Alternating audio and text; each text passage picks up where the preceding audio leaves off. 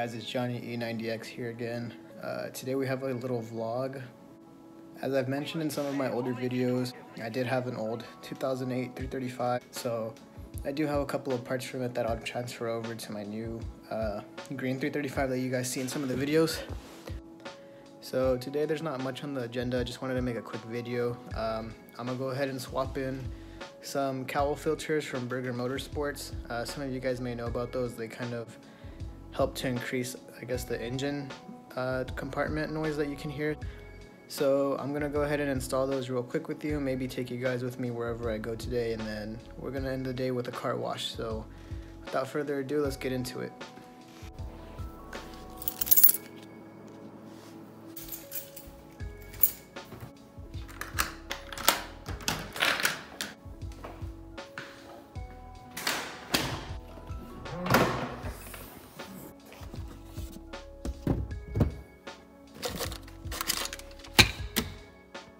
So this is what the cowl filter looks like. It basically removes all of this right here. That's what our cowl is. Uh, we'll go ahead and be able to remove that and then just replace the openings with this and yeah that's gonna have to that's gonna delete that whole section and give you more space to work in your engine you won't have to remove that every single time so this is kind of more of a convenience thing if anything so you're gonna need to remove that screw right there and I have here an 8 millimeter to do that with. Make sure you're removing all of them. There should be a total of one, two, three, four, five, and six.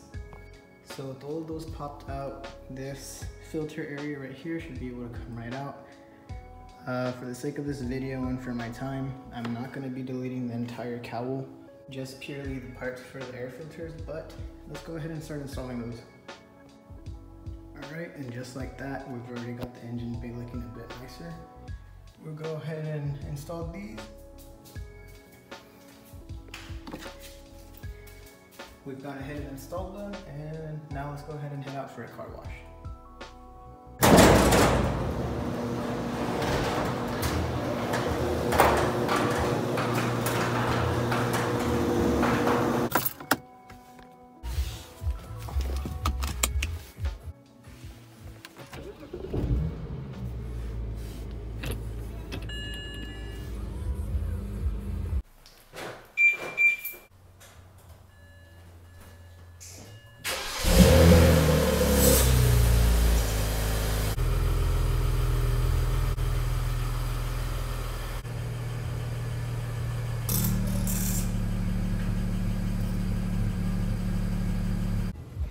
All right, guys, so we're about to head out to the front office in my apartment. They had a little giveaway and I won something, so I'm gonna pick that up real quick. Uh, I also have some goodies here. I'll do a review, I guess, on this. This is like a foam cannon for a gardening hose, or yeah. So, gonna go ahead out, wash some cars, uh, and yeah, and I'll give you guys a verdict on that exactly.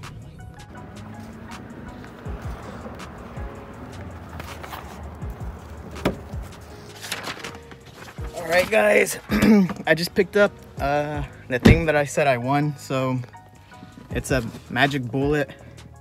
It's like a little blender, but yeah, I was having uh, issues with my apartment. So I went ahead and gave them a call. Like every time I would close my garage door, it would open just right back up.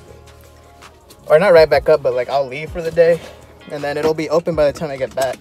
So I thought I was just being a donkey and I didn't know how to close the garage door right, but they let me know that it was probably a programming issue, so I'll have to do that later, but let's go ahead and head out.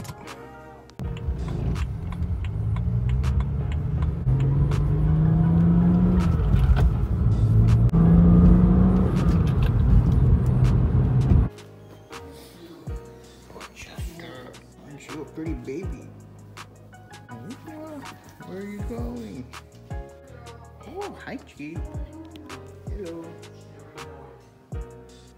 So I just wanted to go ahead and show you just how dirty the car is. Uh, as you guys know, New Year's just passed and there's a bunch of fireworks and got gunpowder and paper all over the car.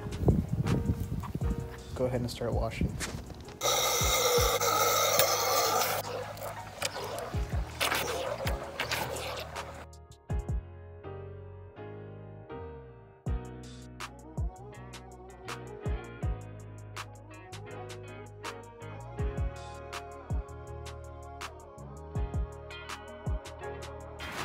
Alright, well here's the final result. It's looking pretty clean. We always use chemical guys. I bought some Adam's uh, foaming car wash to try to use with that, uh, I guess that foam cannon I showed you guys earlier, but I guess it did a pretty good job for now.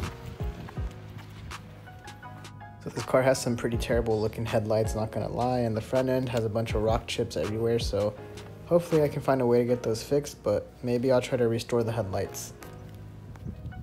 Alright guys, so that's the end of the video. I didn't get to record an outro because I'm dumb, but just throwing in a clip here some from a random car meet I went to, but if y'all enjoyed the video, please leave a like or a comment or anything. Uh, I really want to start making more videos and I got more content coming soon, so stay tuned for that. And yeah, just let me know your thoughts in the comments.